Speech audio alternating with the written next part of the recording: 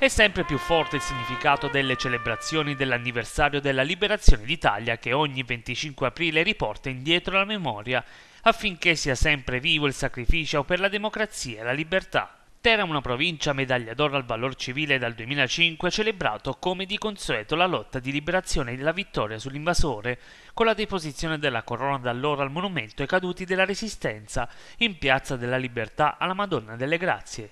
E noi con queste manifestazioni vogliamo lanciare un messaggio soprattutto alle nuove generazioni perché capiscano che l'Italia non è un regalo degli inglesi e degli americani che pure diedero un grande contributo, ma è il risultato di una lotta di popolo.